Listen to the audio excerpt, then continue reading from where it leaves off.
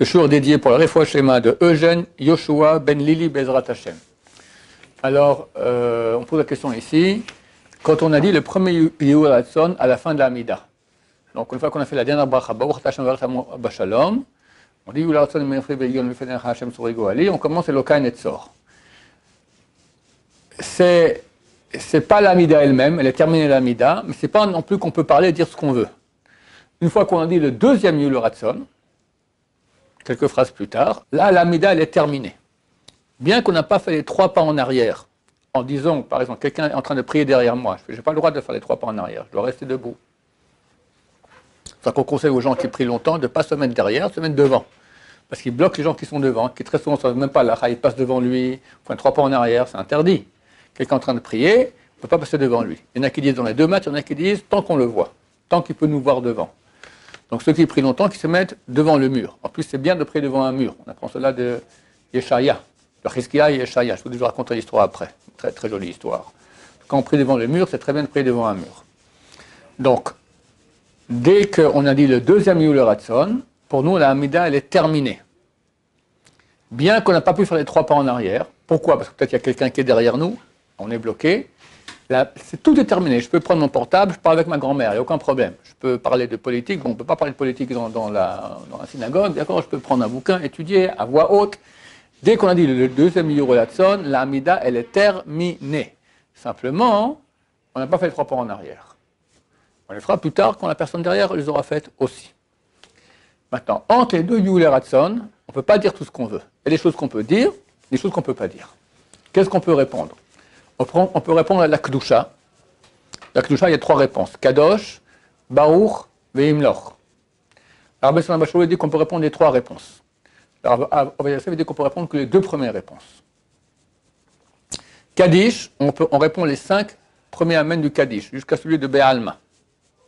Yesh Rabba Mevarach, on répond. D'après Rabbi Sallam jusqu'à Be'alma, les 28 mots, il faut dire les 28 mots jusqu'à Be'alma, chose que les Français ne font pas, qui est une grosse erreur tous les rabbins sfardim, y compris les rabbins marocains, disent qu'il faut dire 28 mots jusqu'à Be'alma, même quitte à rater le Amen de Berichou. un moment, il y a Berichou, alors on répond Amen. Mais si maintenant je n'ai pas encore fini jusqu'à Be'alma, je ne réponds pas. Ce Amen, il n'est pas important, ce quatrième Amen. Par contre, si on arrive au cinquième Amen, je n'ai pas encore fini moi jusqu'à Be'alma, je réponds Amen de Be'alma et je continue après de dire les jusqu'au 28e mot qui est Be'alma. Alors là aussi, on répond ça entre les deux le Ratson. On va dire, Yosef dit non. Si tu réponds Kaddish, tu réponds jusqu'à Itbarach, et pas plus. On répond Baruch Hashem Vaed, quand tu as eu Baruch Hashem Vaed. Qu'est-ce qu'on répond, Alors, Amen des brachot, c'est un safek. Il y en a qui disent que oui, on répond, il y en a qui disent que non. Qu'est-ce qu'on fait pour sortir du safek? Tous sont d'accord si je bouge un peu les pieds. Faire les trois pas, si je peux, c'est encore mieux. On peut faire les trois pas avant la fin de la quelqu'un qui a dit le premier Yule Ratson, et pour exemple X, Y, Z, il veut faire les trois pas, il peut le faire. Ce n'est pas interdit, par exemple. Il est le rabbin de la communauté, tout le monde l'attend. Maintenant, lui, il voit qu'il est en retard. S'il va dire encore le sort, ça va faire encore une demi-minute, quelques euh, dizaines de secondes pour qu'il finisse. Il ne veut pas faire attendre les gens, il fait trois pas en arrière, aucun problème. Ou bien, pour la raison que je suis en train d'évoquer maintenant, quelqu'un, il finit sa Amida, et pour l'instant, il y a la Chazara. Chaque bracha, il faut répondre Amen. Est-ce qu'on répond Amen entre les deux Yul et Ratson. Il y en a qui disent que oui, il y en a qui, qui, disent que non. C'est un problème, parce que pour celui qui dit que je dois répondre, je ne réponds pas, c'est grave. Et pour celui qui dit que je dois répondre, je ne réponds pas, c'est grave aussi. Enfin, le contraire. Donc, qu'est-ce qu'on fait? Alors, si on peut faire trois pas en arrière, c'est le mieux. Parce que là, tout le monde est d'accord que, bien que tu aies encore entre les deux Yul et Ratson, vu qu'il fait trois pas en arrière, tu peux répondre le Amen des brachot. Si tu ne peux pas, parce qu'il y a quelqu'un qui est derrière, tes pieds qui sont comme ça, tu bouges un peu, tu fais un petit mouvement comme ça, ça suffit. Et dès lors, tu peux répondre Amen au brachot entre les deux Yuleratsa. Donc, Kaddish, Kdusha, Amen brachot, on a dit, Barechu, qu'est-ce qui reste? Modim anachnulach. Modim anachnulach, les trois mots. Modim anachnulach, c'est tout. À propos de se prosterner, c'est l'occasion d'en parler. Comme j'ai dit, euh, en France, jusqu'à une quarantaine d'années, même moins 30 années, tous les rabbins étaient ashkénazes, ou sfarad qui ont été éduqués dans des yeshivot ashkénazes. Ils ont pris la coutume ashkénaze, et vu que c'était eux les cadres, donc ils ont enseigné au peuple de faire ashkénaze. C'est pour ça qu'en France, il y a beaucoup de coutumes ashkénazes, par erreur, comme par exemple dans le Kaddish, de ne pas répondre jusqu'à Be'alma. Et une autre erreur, c'est vraiment une erreur. Il se peut que les Marocains ont cette coutume-là, je ne sais pas. Au Maroc, à l'époque, je ne sais pas. Il faut que les Marocains aussi, ils ont des coutumes ashkénazes. Ils détestent qu'on leur dise ça, mais il faut comprendre que euh, euh, les, grands poskim ashkénazes du Moyen Âge, le Roche et le Tour, ont fui l'Europe. Ils ont été poursuivis par l'empereur Rodolphe de Habsbourg pour être pris, pour demander des rançons. Donc ils ont fui l'Allemagne, ils sont arrivés en Espagne. Les rabbins du Maroc, pouvez poser leurs questions aux grands rabbins qui à l'époque étaient en Babylonie, en terre d'Israël. Vous pouvez demander la question aux rabbins qui étaient en Espagne, à qui ils demandaient En Espagne. L'Espagne, c'est tout proche du Maroc. Le détroit de Gibraltar est terminé. Tu, es en Espagne. Donc il y a beaucoup de coutumes marocaines qui en fait sont comme les Ashkenazim. Par exemple, je crois qu'ils mettent aussi les mezuzot penchés. Chez Sfaradim, on les met droites. On n'a pas le droit de, mettre penchés. De plus, euh, il y a déjà 2-3 siècles, Chabad, Lubavitch sont venus au Maroc. Ils ont enseigné. Chabad, c'est pas très Sfarad, d'accord? C'est Ashkenaz à la base. Aujourd'hui, la majorité des Chabad français, c'est des Saradim d'origine, mais les coutumes, c'est le c'est Ashkenaz, d'accord? Il y a une coutume Ashkenaz qui est fausse. C'est un super problème, parce que tout le monde, beaucoup de gens le font ici, même en Israël, en tout cas tous les poskim, Sfarad, israéliens disent que c'est interdit de faire cela, c'est se prosterner à Barechou. Barechou Hashem Hashem Ou bien à la fin du repas, on fait le zimoun, on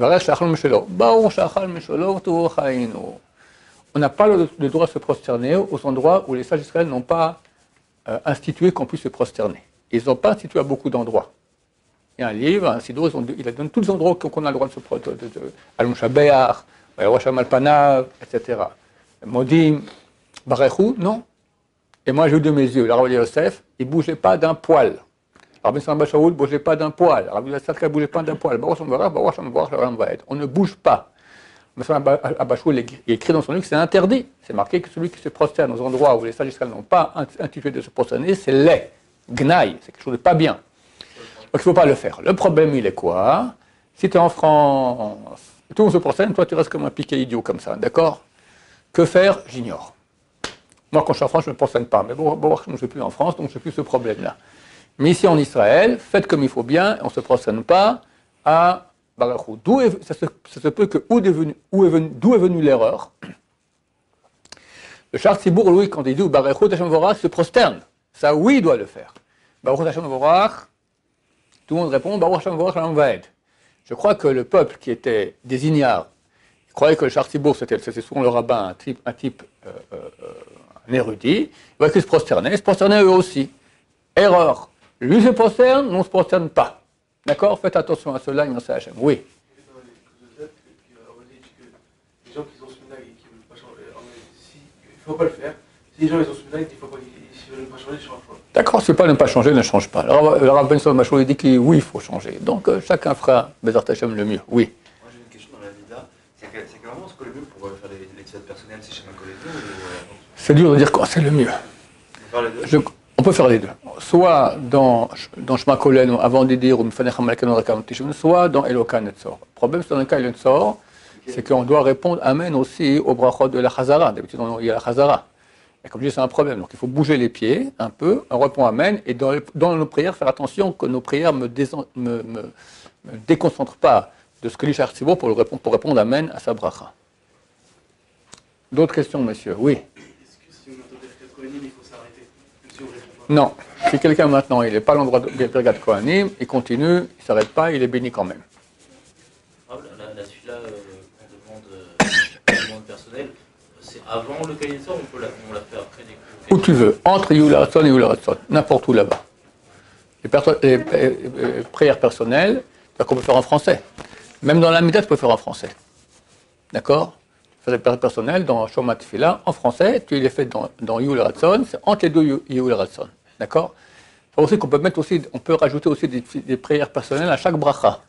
À part les trois premières, trois dernières, euh, comment la Mida, elle, comment elle est bâtie? Il y a trois pri- prières, trois bénédictions au début de louange d'Hachem, trois à la fin de remerciement et 13 au milieu de demande. Maintenant, quand tu passes, tu passes sur une certaine demande, va dire par exemple, tu dis, Achon est la première, Achon est la date. Tu peux prier à Hachem, Dieu s'il te plaît, donne-moi l'intelligence pour comprendre ta Torah en français. Très bien, pas de problème.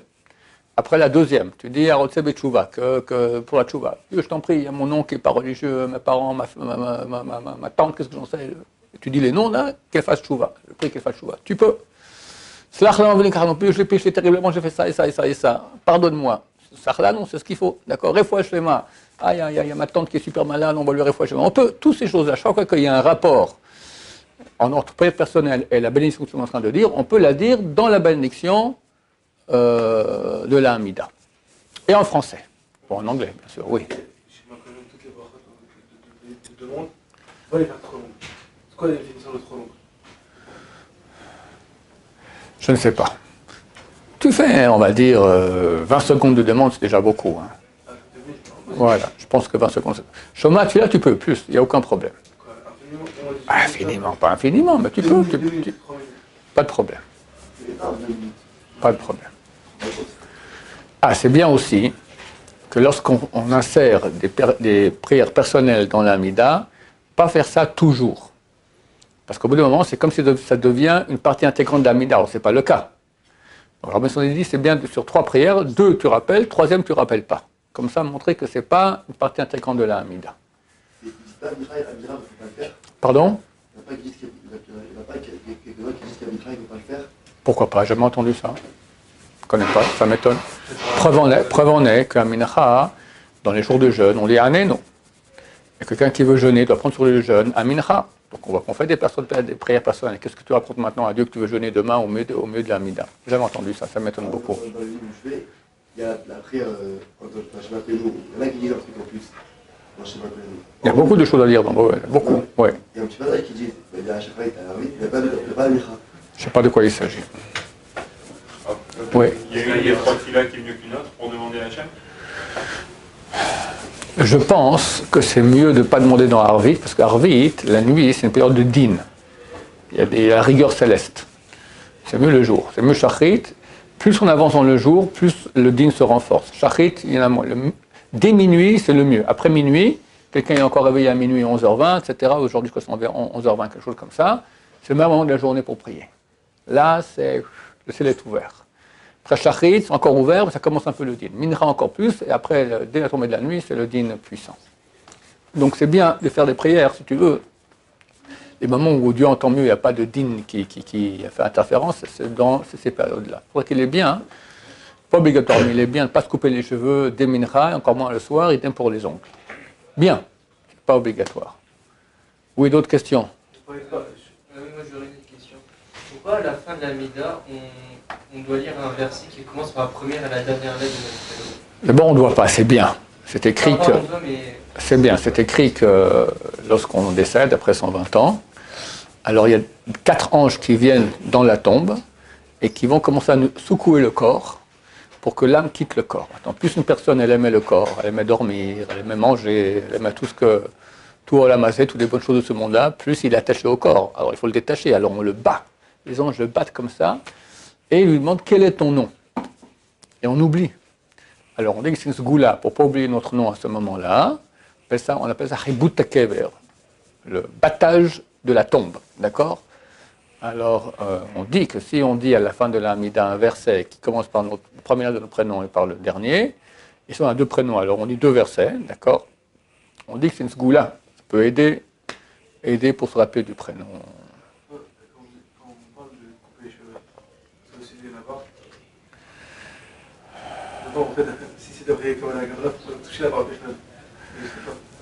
Euh, non, c'est pas la barbe.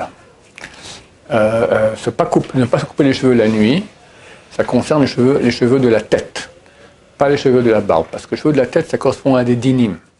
Et c'est marqué que quand on se coupe les cheveux, c'est bien de penser, à part les 15 mitzvot qu'il faut penser quand on se coupe les cheveux, c'est bien de penser aussi qu'on enlève les dynimes, qu'on enlève les, for- les forces du mal. La barbe, au contraire, c'est les forces du bien. C'est pour ça que c'est pas bien, d'après la Kabbalah, de se couper les cheveux. Mais attention, quelle Kabbalah? C'est la Kabbalah de Abu Hassera, de Baba Saleh et de sa famille. Ben Ishraï, qui était un grand, grand, grand, grand de Kabbalah, il n'y a aucun problème à se tailler les cheveux. Ce qu'il faut, c'est pas enlever le cheveu. C'est pour ça que tous les grands Chachamim Sfarad d'Israël, il y a quelques années, ils avaient tous une barbe super courte. Rabben Sion, Rabbi Yosef, c'était comme la mienne, encore plus court, quand ils étaient jeunes. Pourquoi? Parce qu'il n'y a aucun interdit à se couper la barbe de la Kabbalah, qui n'est pas celle de Baba Saleh, celle du Ben Ishraï. Baba Saleh, il ne faut pas toucher la barbe, rien du tout, jamais. Oui. Tout à l'heure, vous avez dit quand on fait les. Par exemple, le rap de communauté, tu fais trois pas en arrière juste pour qu'ils puissent reprendre le khatat. On dit au Shalom ou c'est avant que le geste Les trois pas. Non, non, bah, c'est-à-dire, ah non, si quelqu'un maintenant il est, il est dans le Kohen sort, il fait les trois pas en arrière, il ne dit pas euh, au Seychelles Mimromav. Il fait juste fait trois- comme ça, le juste trois pas en arrière, et quand il arrivera, il arrive en arrière, il finit le Ratson, il dit au Seychelles Mimromav, bien qu'il ait déjà, il n'a pas fait les trois pas. Il fait au au Seychelles Mimromav, il fait les, les- les- les trois côtés comme ça. C'est que même système, on fait juste long- longtemps et que quand nous on arrive à localiser sur le Khazan et dans la on, fait, euh, on décale les pieds, on répond au Rachat. Ouais, que Amen, pas Baruch. Voilà. C'est une marloquette. Il y en a qui disent de ne pas répondre, et il y en a qui disent de oui répondre. Pour ça, la marloquette, on bouge les pieds comme ça, on, on- on- on- on peut, on peut répondre. Est-ce qu'il y a un problème de faire tchouva, enfin vraiment de dire qu'on a fauté, etc., le- la nuit, pendant la période du ou pas du tout? Il n'y a pas de problème. Preuve en est qu'avant d'aller dormir, on fait la vidouille. Voilà. Mais ce n'est pas le, me- le meilleur moment. Ce n'est pas le meilleur moment. Alors, les la nuit, ça... c'est pour ça qu'on ne fait pas les sirotes la nuit. D'autres questions, messieurs? Baruch Adonai, Amen, Amen.